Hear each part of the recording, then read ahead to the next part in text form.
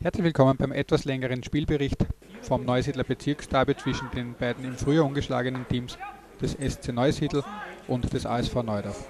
Es beginnt mit einem Paukenschlag, denn bereits in der vierten Minute ist es Christian Neurauter, der auf 0 zu 1 für die Neudorfer stellt. Als ehemaliger Neusiedl-Spieler verzichtet Christian Neurauter natürlich auf den Torjubel. In weiterer Folge lassen sich die Neudorfer immer weiter zurückdrängen und die Neusiedler kommen zu zahlreichen Torchancen, welche allerdings großartig von Hannes Barbour, aber auch der Neudorfer Verteidigung abgewehrt werden können.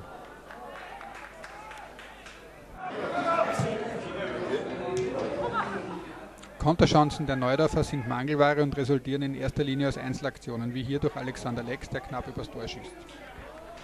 Oder Mario Heller, dessen Stangelpass René Zechmeister im Neusiedler Gehäuse gerade noch abfangen kann.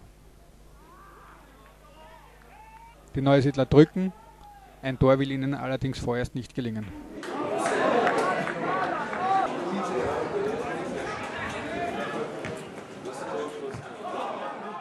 Die größte Möglichkeit für die Neudorfer vergibt nach einem Corner von Christoph Radak David Dornhackel. Dass es so wenig Konterchancen gibt, ist allerdings auch auf die Neusiedler Spielweise zurückzuführen, die mit taktischen Fouls bereits am Mittelkreis die Angriffe unterbinden. Danach gibt es eine Schrecksekunde für den ASV Neudorf, denn Goalie Hannes Barber wird bei einer Rettungsaktion unterlaufen und landet unsanft auf seiner Schulter.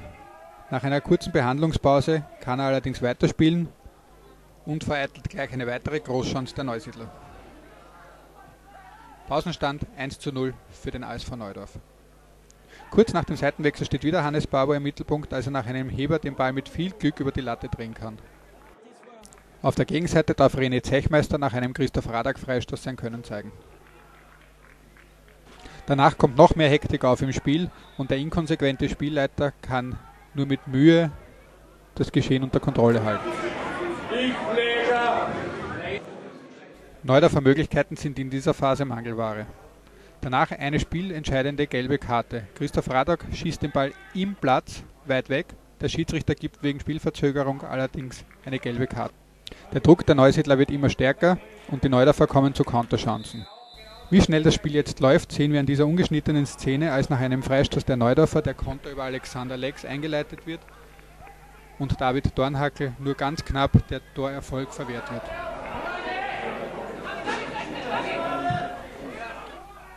Kurz darauf ist es allerdings soweit. Christoph Radak legt sich den Ball aus 25 Metern auf und trifft zum 2 zu 0 ins Tor. Wie wir in der Zeitlupe sehen, dreht sich der Spieler mit der Nummer 17 vom Ball weg, wodurch René Zechmeister kaum noch eine Abwehrmöglichkeit erhält. 2 zu 0 für den ASV Neudorf. Wenige Minuten später sehen die Zuschauer allerdings das erste Foul von Christoph Radak. Nach seiner gelben Karte für Gelbbeck schießen bedeutet das natürlich jetzt Gelb-Rot wodurch die Neudorfer mit einem Mann weniger auf dem Platz stehen. Die Neusiedler werfen jetzt alles nach vorne und wollen ihre Titelchance wahren. Immer wieder scheitern sie allerdings vor dem Neudorfer Gehäuse.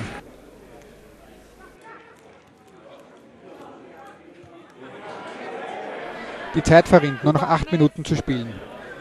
Dann eine spielentscheidende Szene. Foul im Mittelfeld. Der Schiedsrichter ignoriert dieses allerdings. Die Neusiedler reagieren ganz schnell und Mario Horvath kann den Ball aus Spitzenwinkel zum 1 zu 2 Anschlusstreffer im Tor unterbringen. Die Neudorfer sind geschockt. Und nur eine Minute später ist es Regionalliga-Kaderspieler Stefan Denk, der zwischen vier Neudorfern den Ball per Kopf zum 2 zu 2 Ausgleichstreffer im Tor unterbringt.